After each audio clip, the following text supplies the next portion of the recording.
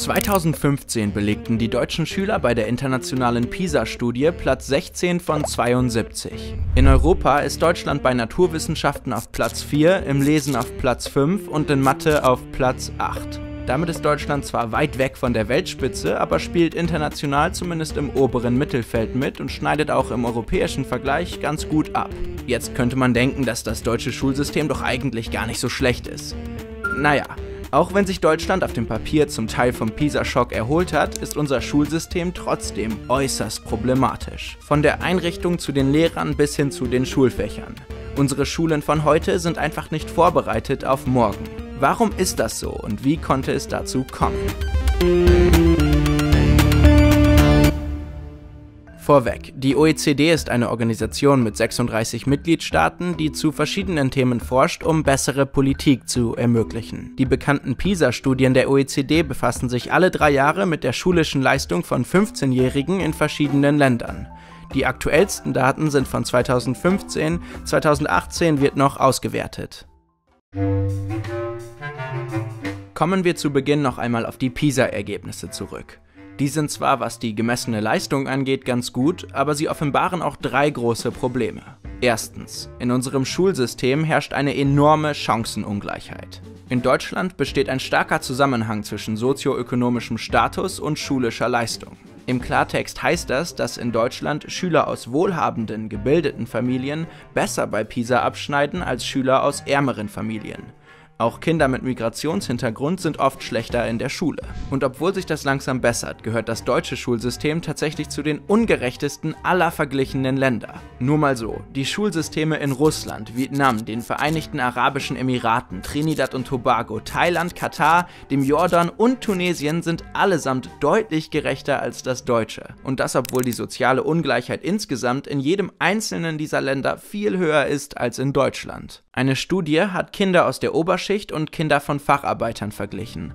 Bei identischen kognitiven Fähigkeiten und gleicher Lesekompetenz haben die Kinder aus der Oberschicht eine fast viermal höhere Chance, eine Gymnasialempfehlung zu bekommen. Das muss man sich mal auf der Zunge zergehen lassen. Im Jahr 1965 machten etwa 5% der 18-Jährigen ein Abitur. 2015 waren es etwa 50 Prozent. Aber Kinder aus unteren sozialen Schichten, Kinder mit Migrationshintergrund und teils auch Kinder vom Land haben diese 50-50 Chance einfach nicht. Dagegen gehen 70 Prozent der Kinder aus wohlhabenden Elternhäusern aufs Gymnasium. Deutschland ist in Sachen Bildung eine Zweiklassengesellschaft. Zweitens, unter deutschen Schülern herrscht absolutes Desinteresse an MINT. MINT steht für Mathematik, Informatik, Naturwissenschaften und Technik. Jobs in diesen Bereichen gehören zunehmend zu den wichtigsten der Zukunft. Ein großer Teil der deutschen Wirtschaft ist auf solche Fachkräfte angewiesen. Aber in Deutschland schafft man es kaum, Schüler für diese Felder zu begeistern. Sie halten Naturwissenschaften weder für sonderlich bedeutsam noch für attraktiv. Nur sehr wenige können sich vorstellen, eine Karriere in den Bereichen zu machen. Deutsche Schüler sind unterdurchschnittlich technikbegeistert und gerade Mädchen interessieren sich kaum für IT, auch im internationalen Vergleich. Schon heute sucht man in Deutschland händeringend nach Fachkräften. Das wird sich wohl nicht bessern, wenn es so weitergeht. Kaum Investitionen. Der deutsche Staat hat zurzeit reichlich Geld, aber Bildung hat trotzdem keine große Priorität. Von 2017 auf 2018 hat man nur 5 Milliarden Euro mehr investiert. Das hört sich nach richtig viel an, ist auf das ganze Land gerechnet aber nur ein winziger Anstieg. Das Bruttoinlandsprodukt, kurz BIP, zeigt, wie stark die Wirtschaft eines Landes ist. Deutschland investiert gemessen am BIP sehr wenig in das Bildungssystem. Wir liegen mit 4,2% sogar unter dem EU-Durchschnitt von 4,5%. Auch in der OECD geben viele Länder relativ gesehen deutlich mehr für Bildung aus als Deutschland. Dass man viel in Bildung investiere, ist politische Rhetorik, kein Fakt. Dieser Umstand wird oft und auch zu Recht kritisiert. Einfach mehr Geld in das System zu pumpen, ist trotzdem nicht unbedingt die Lösung. Denn viel wichtiger als die Menge an Geld, die man ausgibt, ist, wer hätte das gedacht, wofür man das Geld ausgibt. Schauen wir uns einmal diese etwas ältere Grafik der OECD an. Hier hat man sich angesehen, wie viel die jeweiligen Länder relativ gesehen für Bildung ausgeben und wie gut die Lesekompetenz der Schüler dieser Länder im Verhältnis zu den Ausgaben ist. Vereinfacht gefragt, macht mehr Geld im Schulsystem die Schüler besser. Schaut man sich den linken Bereich an, wird deutlich, dass gerade bei ärmeren Ländern mehr Investitionen einen großen Unterschied machen. Bei den reicheren Ländern sieht das ganz anders aus. Die USA gibt zum Beispiel viel mehr aus als Deutschland, die Ergebnisse beim Lesen sind aber fast identisch. Korea und Finnland geben dagegen ähnlich viel aus wie Deutschland und sind deutlich besser. Bei Daten aus der aktuellen PISA-Studie ist es ähnlich. Japan, Finnland und Kanada investieren ähnlich viel wie Deutschland, aber die Schüler schneiden in Naturwissenschaften deutlich besser ab als hierzulande. Die USA gibt mehr aus als Deutschland und die Schüler sind schlechter. Das sind nur Beispiele, aber allgemein kann man sagen, Deutschland investiert nicht besonders viel und vor allem nicht in die richtigen Dinge. Wenn man sich also nur PISA anschaut, werden drei große Probleme deutlich. Unser Bildungssystem ist ungerecht, schafft es nicht, in wichtigen Bereichen zu begeistern und es wird nicht in die richtigen Dinge investiert. Aber wir fangen gerade erst an. Machen wir uns auf die Suche nach den Ursachen. Zeit für das Warum. Das deutsche Schulsystem existiert in seiner groben Struktur schon seit Ewigkeiten. Erst Grundschule, dann folgt nach der vierten Klasse die Aufteilung auf die Hauptschule, Realschule oder das Gymnasium. Das hat keinerlei wissenschaftlichen Hintergrund. Die Aufteilung setzte sich nach dem Ersten Weltkrieg fest und war vor allem gesellschaftlich und politisch bedingt. Die Volksschule war für das normale Volk, die dann Landwirte oder Industriearbeiter wurden. Die Realschule war für die Mittelschicht, die Schüler sollten in die Verwaltung und das Militär. Das Gymnasium war für die Elite, die leitende Positionen in der Politik und Wirtschaft einnehmen sollte. Dieses System ist natürlich ungerecht, weil es die soziale Struktur des Landes widerspiegelt und die Ungleichheit immer wieder erneuert. Das Volk bleibt das Volk, die Elite bleibt die Elite. Das bleibt alles so, wie es hier ist. Nach dem Zweiten Weltkrieg sind tiefgreifende Reformen an Streits zwischen den Parteien gescheitert. Vor allem die CDU hat sich immer wieder gegen substanzielle Veränderungen gestellt. Aufgrund des Grundgesetzes ist Bildung außerdem Ländersache. Jedes Bundesland macht zu einem gewissen Grad sein eigenes Ding und es gibt keine bundesweite Verwaltung. Die Systeme unterscheiden sich von Bundesland zu Bundesland. Die sogenannte Konferenz der Kultusminister stellt sicher, dass alle Länder zumindest halbwegs auf einer Linie sind. Allerdings gibt es, bis auf ein paar vereinzelte Aufgaben, bundesweit kein zentrales Abitur. Deshalb kann man Leistungen von Schülern aus verschiedenen Bundesländern teilweise nur schwer vergleichen. Ein 1,5er Abi in Bayern kann etwas ganz anderes bedeuten als ein 1,5er Abi in Bremen. Durch das komplexe Verhältnis von Bund und Ländern kommt es auch immer wieder zu Investitionsblockaden und unnötiger Bürokratie. Diese Struktur macht bundesweite Reformen natürlich noch schwieriger. Das System ist uralt und festgefahren und erzeugt eine unfassbare Chancenungleichheit. Man könnte vielleicht denken, dass eine Aufteilung nach Leistung die Einzelnen besser fördert.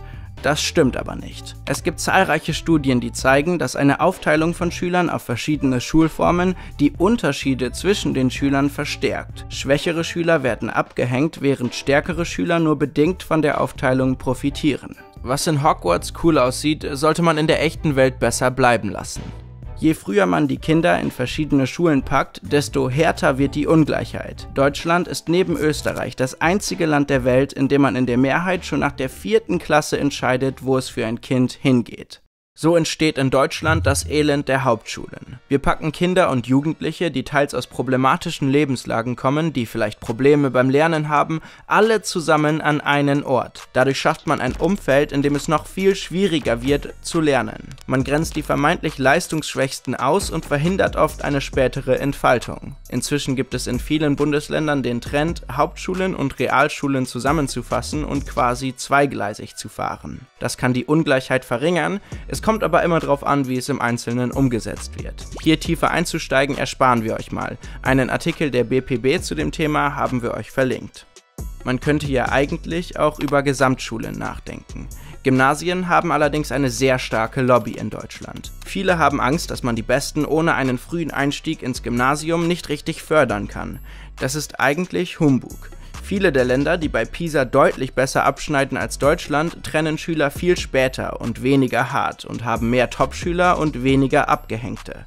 13 dieser 15 Länder haben gerechtere Schulsysteme. Deutschland ist eine recht heterogene Gesellschaft. Das erklärt ebenfalls einen Teil der Chancenungleichheit in unserem System. Dahinter kann man sich aber nicht verstecken unterschiedliche Bundesländer, deren Bildungssysteme unterschiedlich gut funktionieren, Unterschiede zwischen Stadt und Land, reich und arm. Deutschland ist in Sachen Bildungschancen ein schlecht koordiniertes Entwicklungsland mit einem System, das von Anfang an dazu vorgesehen war, bestehende soziale Strukturen zu zementieren. Unsere Welt verändert sich, da ist es nur logisch, dass sich auch die Anforderungen verändern. Unser Alltag und unsere Arbeitswelt werden immer komplexer. Deshalb werden sogenannte transversale Kompetenzen immer wichtiger. Das sind im Prinzip Fähigkeiten, die man unabhängig von nur einem Fachbereich anwenden kann. Anstatt einfach nur abgreifbares Wissen anzusammeln, müssen Schüler kreative Lösungsansätze für komplexe Probleme entwickeln und eigenständig und kritisch denken können. Sozialkompetenzen werden ebenfalls immer wichtiger. In Finnland, einem der Top-PISA-Länder, unterrichtet man deshalb mittlerweile zum Teil in Phänomenen. Das Phänomen USA wird dann zum Beispiel in verschiedene Bereiche gegliedert. Man schaut sich die Wirtschaft an, aber auch die Sprache und die Geschichte des Landes und verknüpft dann alle Dinge miteinander. Auch weniger radikale Ansätze haben es schwer an deutschen Schulen. Mit der Digitalisierung unseres Alltags werden auch digitale Kompetenzen immer wichtiger. Deshalb sollte Informatik überall als Pflichtfach eingeführt werden. Dazu haben wir bereits ein eigenes Video gemacht, das könnt ihr euch später gerne ergänzend anschauen. Die deutschen Schulen stecken leider größtenteils noch in den 90ern fest. Es gibt zwar Ausnahmen, aber Tablets und Laptops fehlen oft komplett, an vielen Schulen gibt es kaum oder gar kein Wi-Fi. Lang lebe der Overhead-Projektor. Kein Wunder, dass deutsche Schulen bei der Nutzung neuer Technik im internationalen Vergleich Platz 36 von 42 belegen. Auch kein Wunder, dass man Schüler dann nicht für MINT begeistern kann. Das ist aber nur die eine Seite der Medaille. Jeder kennt die Geschichten. Man war schlecht in Mathe und ist nie mitgekommen. Immer nur Vieren, auch mal eine Fünf. Nur bei dieser einen Lehrerin, da hat man es richtig kapiert. Die konnte so gut erklären und hat sich Zeit genommen, plötzlich hatte man eine 2 minus. Man kann einen Menschen nichts lehren, man kann ihm nur helfen, es in sich selbst zu entdecken. Ein guter Lehrer ist mehr als nur jemand, der einfach Wissen weitergibt. Klingt banal, aber Lehrer sind der wichtigste Baustein des gesamten Bildungssystems. Und in vielen Bundesländern herrscht Lehrermangel. Auch deshalb erhöht sich in Deutschland seit Jahren der Anteil der sogenannten Quereinsteiger. Das sind Leute, die ohne entsprechendes Studium als Lehrer einspringen. Ein studierter Chemiker unterrichtet dann zum Beispiel Chemie. Bei den neu eingestellten Lehrern lag der Anteil solcher Quereinsteiger 2006 bei ca. 3%. 2017 war bundesweit schon jeder zehnte neue Lehrer ein Seiten- oder Quereinsteiger. In Berlin war es 2017 sogar jeder dritte. Dazu kommt noch ein weiteres Problem. Unsere Lehrer und Lehrerinnen sind alt. Fast jeder zweite ist über 50, jeder siebte ist sogar über 60. Gleichzeitig verändert sich die Gesellschaft rasant. Schulen werden digitaler und es gibt viele neue Unterrichtskonzepte. Ah, das kann ja nur gut gehen. Eigentlich gibt es eine Lösung für dieses Problem. Fortbildungen. Fortbildungen könnten Quereinsteigern helfen, sich in ihrem neuen Job zurechtzufinden. Sie könnten zum Beispiel lernen, wie man Wissen gut weitergibt oder mit Kindern umgeht, die Verständnisprobleme haben. Außerdem könnten Fortbildungen älteren Lehrern natürlich helfen, sich mit neuer Technik vertraut zu machen. Gute Fortbildungen sind praxisnah und werden den Lehrern nahegelegt und bezahlt. Man braucht externe Experten, die wissen, was sie tun, die die Lehrer herausfordern und wirklich brauchbare Skills vermitteln. Regelmäßige Fortbildungen sind auch toll für die Lehrer selbst. Sie fordern heraus, machen zufriedener und den Job einfach interessanter. Wenn man das mit einer Atmosphäre kombiniert, in der sich Lehrer austauschen, voneinander lernen und als Team agieren, schafft man ein tolles, attraktives Arbeitsumfeld. Es braucht eine Kultur, in der Lehrer als hart trainierte Profis gesehen werden, die einen Job machen, der sich ständig wandelt und der immer wieder neu herausfordert. So ein Klima herrscht im Bildungsland Finnland. Lehrer werden ähnlich bezahlt wie in Deutschland, aber ihre Position in der Gesellschaft und ihr Arbeitsumfeld machen den Job bei Finnen wahnsinnig beliebt. Fortbildungen sind in Deutschland aber natürlich massiv unterfinanziert. Kein Scherz, die Investitionen gehen in Deutschland tatsächlich Jahr für Jahr für Jahr zurück. Der größte Witz ist, dass lebenslanges Lernen eigentlich in jedem Bundesland per Definition wichtiger Teil des Lehrerjobs ist. Die meisten Lehrer wollen sich sogar fortbilden, ihnen wird einfach keine Chance geboten. Die Fortbildungen, die es gibt, sind oft viel zu kurz und zu theoretisch. Zurzeit gibt es eine 500 Millionen Euro Qualitätsoffensive des Staates und der Länder. Damit will man die Lehrerbildung verbessern. Wie viel von diesem Geld ist für Fortbildungen? Wer weiß es? Wieder keiner. Die Antwort ist null. Null Euro sind vorgesehen. Aber immerhin sind die Lehrer, die neu anfangen, dann gut ausgebildet. Eigentlich steht richtig viel Geld für die Sanierung und den Neubau von Schulen zur Verfügung. Aufgrund von bürokratischen Hürden und kaputten Bauverwaltungen sind zahlreiche Schulen trotzdem wahnsinnig marode. Das Geld liegt einfach rum und es fehlt quasi an kompetenten Leuten, um es da einzusetzen, wo es gebraucht wird. Niemand erwartet, dass jede Schule wie ein Google Office aussieht, aber nur mal als Beispiel. In einer Toilette auf unserer alten Schule gab es mal für mehrere Monate keine Fenster. Man hat einfach alles mit Pappen zugeklebt im Winter. In Finnland sehen Schulen so aus, in Deutschland so. Es ist nicht so, als würde niemand versuchen, das Bildungssystem zu reformieren. Tatsächlich wurde in den Bundesländern nach dem PISA-Schock ganz aggressiv vor sich hin reformiert. Die Ergebnisse haben sich ja auch verbessert, aber viele der Reformen hatten einfach keine wissenschaftliche Basis. Bildung unterliegt immer politischem Interesse. Mit Reformen setzen Politiker Signale, man zeigt, dass man was tut. Teils steht die eigentliche Wirkung leider hinten an. Das beste Beispiel dafür ist G8. In NRW wurde das Turbo-Abitur zum Beispiel unfassbar chaotisch eingeführt, nur um es dann wieder abzuschaffen. Man müsste zum Beispiel Strukturen anpassen und das Abitur bundesweit vergleichbar machen. Die bestehende Chancenungleichheit muss auch viel ernsthafter angegangen werden. Momentan wird viel reformiert, aber grundsätzliche Probleme bleiben dennoch seit Jahrzehnten bestehen. Natürlich muss man auch die PISA-Ergebnisse selbst hinterfragen. Wenn klar ist, was gemessen wird, wird unter Umständen das ganze System danach ausgelegt. Dabei sollte Bildung mehr sein als gute Resultate in standardisierten Tests, ohne sich hier in Idealvorstellungen von individueller Entfaltung völlig zu verlieren. Bildung sollte den Menschen als Ganzes wachsen lassen.